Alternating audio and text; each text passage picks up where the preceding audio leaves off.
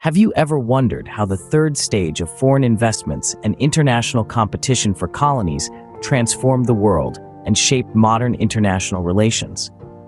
This intriguing era began in the 1860s and was marked by significant shifts in global power dynamics.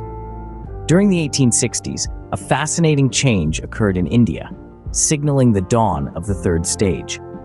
Britain's industrial supremacy was being challenged by several countries, including nations across Europe, the United States, and the emerging power, Japan. This period witnessed the application of scientific knowledge to industry, accelerating the pace of industrialization with innovations such as the use of petroleum as fuel for the internal combustion engine and electricity for industrial purposes.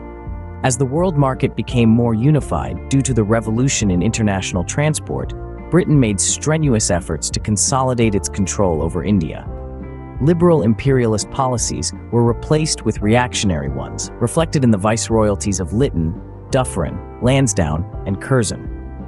The strengthening of colonial rule over India served a dual purpose.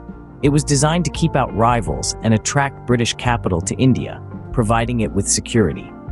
Consequently, a significant amount of British capital was invested in railways, loans, trade, and to a lesser extent plantations, coal mining, jute mills, shipping, and banking in India. The notion of training the Indian people for self-government evaporated, only to be revived after 1918 due to the pressure exerted by the Indian national movement.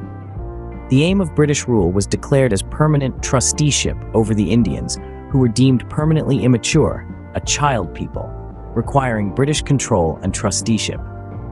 Geography, climate, race, history, religion, culture, and social organization were all cited as factors making the Indians unfit for self-government or democracy. The British thus attempted to justify their rule over Indians for centuries to come, all in the name of civilizing a barbaric people, the white man's burden. To recap, the third stage of foreign investments and international competition for colonies beginning in the 1860s, was marked by a shift in global power dynamics.